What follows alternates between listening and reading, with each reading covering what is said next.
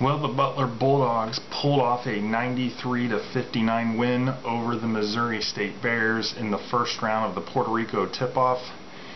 And uh, impressive game by Butler once again. It was uh, it was over pretty quickly by about halfway through the first half. Butler was stretching the lead. Never looked back.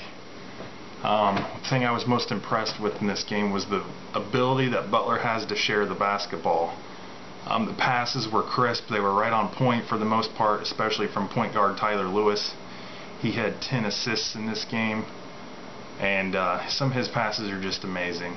But another great pass that I really liked in this game, there was a um, early in the first half, uh, Andrew Chrabascz got the ball along the block, and Kellen Dunham had a backdoor cut right to the basket, passed it right to him.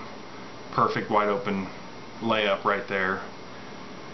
Um, as far as offensive production, Andrew Chrabascz was the big uh, star here. He had 18 points on 7 of 13 shooting. And uh, Kellen Dunham added 11 points. Like I said, Tyler Lewis had 10 assists on, with 9 points. The big rebounder was uh, Roosevelt Jones. He had 10 points or 10 rebounds to go along with 6 points. Uh, the shooting was remarkable. Butler once again only hit 8 three-pointers in this game. They didn't take very many three-point shots, only 17, so that's about 50% three-point shooting, 47.1% to be exact. But uh, they were 33 of 55 from the field for 60%, and uh, that has to do with the fact that Butler is getting a lot of points in the paint. They're passing the ball, like I said, so well that they're able to get uh, open looks or finding the guy below, down low that can get an easy bucket. Um, defense was pretty good, held Missouri State to 33.9% shooting, 20 of 59. Um, they were only 2 of 15 behind the three-point line.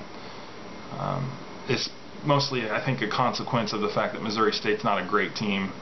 We'll see how great Butler's defense really is once they start playing tougher opponents, specifically against Temple tomorrow, which is who Butler's going to play, the Temple Owls, and in the semifinals. And that's going to be a tougher game. Probably the best, well, obviously it'll be the best closest, toughest game of the season for Butler up to this point. Uh, Butler won the rebounding battle 40 to 32, so that's good. We Missouri State didn't really have uh, much height to really, you know, test us to see if we can rebound against these bigger teams and better teams. Uh, assists, Butler had 23 assists um, and only eight turnovers in this game. That's remarkable. Uh, like I said, a lot of it has to do with the fact that Tyler Lewis is on the team and the way he's able to uh, distribute the ball. He had 10 assists on zero turnovers. He just doesn't turn the ball over very often. And uh, it just it's really impressive to see. This is probably the best passing uh, Butler basketball team that I have ever seen. Um, you know, Butler only forced 11 turnovers, but I think they said nine of them came early, like in the first 11 minutes of the game. So that really helped Butler jump out to a big lead. Uh, Butler got it up to 38, like halfway through the second half, but uh, did win the game by 34.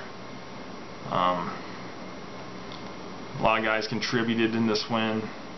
Uh, nine of the 11 guys, actually 10 of the 12 guys that played in this game got some points.